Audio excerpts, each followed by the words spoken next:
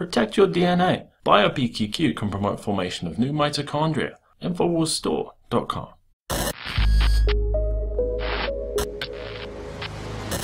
While America boils with betrayal by the now naked criminal New World Order establishment, plainly verified by the trouncing Donald Trump whipped on dynastic pawn Jeb Bush and his inability to win even one delegate, the Department of Justice ramps up its mind war to once again sell the notion that domestic extremism far outweighs the threat of radical Muslim extremism. Kurt Nimmo writes In October, with little fanfare, the Justice Department created a new position to emphasize the threat the government says it faces from so called domestic extremists. John Carlin, in charge of the Department of Justice's National Security Division, told a seminar on terrorism at George Washington University, the event hosted by the Southern Poverty Law Center, that government and law enforcement now consider individuals and groups opposed to the authority of the state to be the top terrorism concern. A threat, he said, overshadows Muslim extremism.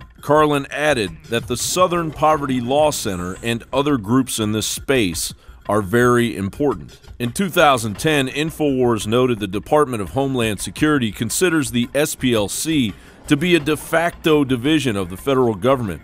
The mask is coming off, and they're they're you don't have to get a FOIA request anymore to find out that it turns out the MIAC report was written by Southern Poverty Law Center. What they're doing though is they're brainwashing them. That's why we have to counter that with our own like deprogramming of the brainwashing. They they want them to believe that you know, essentially, if you talk like Thomas Jefferson, you must be a terrorist, is, is, is, is their bottom line. Having police that aren't brainwashed into supporting the criminal banking takeover, that is a danger to the criminals. So, but the criminals are, are literally in there you know, advising the police. In April of 2009, a document produced by the Department of Homeland Security, Right Wing Extremism, Current Economic and Political Climate Fueling Resurgence in Radicalization and Recruitment, characterized patriot political groups that reject federal authority in favor of state or local authority or reject government authority entirely as domestic terrorists. Reuters reported that in early February, Justice Department officials asked Congress for a statute to toughen the fight against anti government extremists. A similar law is currently used to prosecute individuals accused of providing material support for Muslim terrorist groups currently on the State Department's list of international terrorist organizations. The Patriot Act codifies material support as distributing literature, political advocacy, and donating money to groups and individuals the government considers terrorists. An individual does not need to be involved in violence to be prosecuted. Moreover,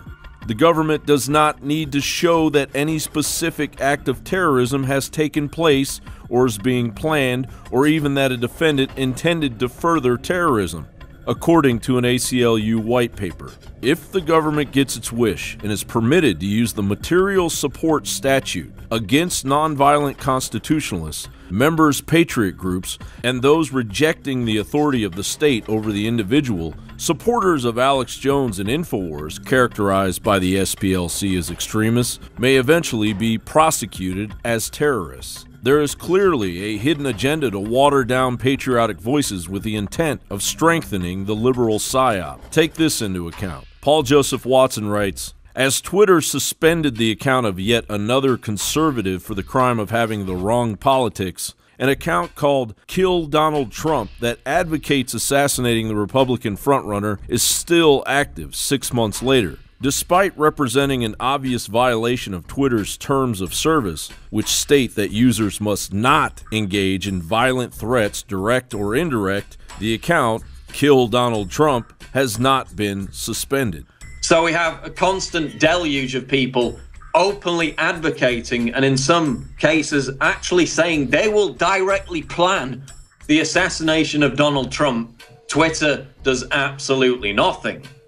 But they will censor a conservative journalist for criticizing feminism. They will de verify a prominent conservative journalist, Milo Yiannopoulos. Again, for what reason, nobody knows. Essentially, as the borders remain open and nearly 60% of illegal immigrants identified by the U.S. Immigration and Customs Enforcement as criminal threats are not deported and are eventually released onto the streets of America, the establishment drunk with power after quietly, for all intents and purposes, legalizing propaganda in July of 2013, means to saturate the American psyche with a bombardment of social media from psychopathic leftists, federal propaganda, and Muslim extremism, bluntly violating the First Amendment in order to shut down the national conversation in America, criminally struggling to gain a foothold to support a totalitarian culture of fear and control. Jon Bowne for Infowars.com.